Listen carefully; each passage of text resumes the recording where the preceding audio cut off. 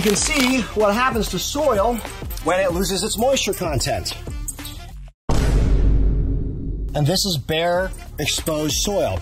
So I'm gonna do one more step that other people may or may not do, but I'm gonna do it. Take this. What I use for root stout is hay. I know some people use straw. There are pros and cons. That's a different video. But I'm just gonna make sure that I'm gonna protect this. I'm gonna mulch, heavily mulch around it.